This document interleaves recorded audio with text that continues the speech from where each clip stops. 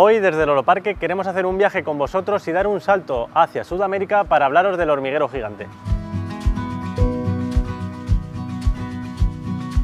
Seguro que a todos os ha llamado muchísimo la atención eh, la anatomía de este animal, que es bastante extraña. Y es que este, esta especie está totalmente adaptada a la depredación de hormigas. Es por eso que tiene un hocico muy largo y estrecho que le permite meterse por todos los escondrijos de los hormigueros y unas poderosas garras que utilizan para destruir esos termiteros. No solo les sirven esas garras para acceder a la comida, sino que también les sirven como una poderosísima defensa frente a depredadores.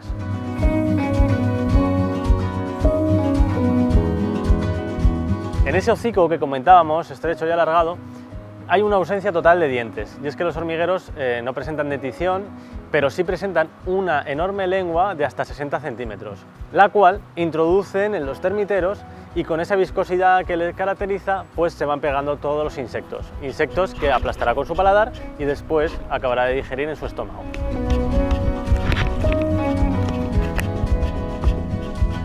Otro aspecto bastante a destacar es esa cola plumosa que presentan. Es una cola que utilizan ellos para el camuflaje y para cubrirse como si fuese una manta en los días más fríos. Entonces es habitual ver a los hormigueros cuando están escondidos en el medio natural hechos un ovillo y tapándose con la cola para pasar totalmente desapercibidos y que los depredadores no los detecten. En Oroparque garantizamos una nutrición completa y saludable a estos animales, los cuales se alimentan con una dieta 100% insectívora diseñada especialmente para esta especie. Nosotros metemos el alimento en unos tubos para que puedan alimentarse de forma natural, metiendo el hocico y buscando ese alimento que tanto les gusta.